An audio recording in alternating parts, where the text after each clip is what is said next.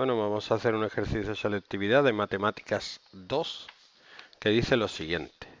En el primer cuadrante representamos un rectángulo de tal manera que tiene un vértice en el origen de coordenadas y el vértice opuesto en la parábola igual a menos x cuadrado más 3.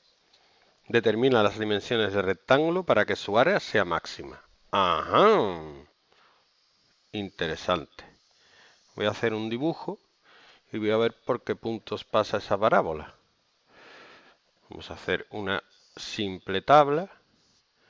Cuando x vale 0 y vale 3, cuando x vale 1 y vale 2, cuando x vale 2 y vale menos 1, ya me paso del primer cuadrante. Voy a ver en qué número menos x cuadrado más 3 es igual a 0, que obviamente es raíz de 3. Entonces, para raíz de 3, vamos a quitar el 2 menos 1 que no nos hace falta. Para raíz de 3, menos raíz de 3 al cuadrado más 3, 0. Entonces este pasa por 0,3, 1, 2, raíz de 3, que es, creo, 1,73 aproximadamente. Efectivamente, aquí está el 2, o sea que pasa por aquí.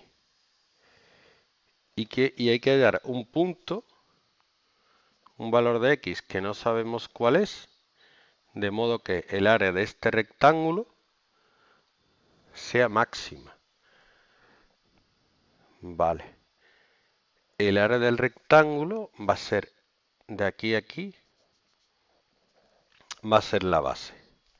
La base va a ser, le vamos a llamar x y la y de esa x va a ser, va a estar en esta función, es decir, que va a ser menos x cuadrado más 3. Es decir, que la altura, si esto es x, esto va a ser menos x cuadrado más 3 y el área es base por altura, así que el área es x por menos x cuadrado más 3. Y esta es la función que tengo que optimizar. Entonces, voy a multiplicar, me queda menos x cubo más 3x y ahora la derivo. a' igual a menos 3x cuadrado más 3 y la igual a 0. Me queda 3x cuadrado igual a 3 x igual a más 1 y menos 1. Por supuesto el menos 1 no entra, así que la solución de x es 1. El punto es x1 y 2, porque la base mide 1, la altura mide 2 y la área máxima que puede tener es 2. ¿Vale?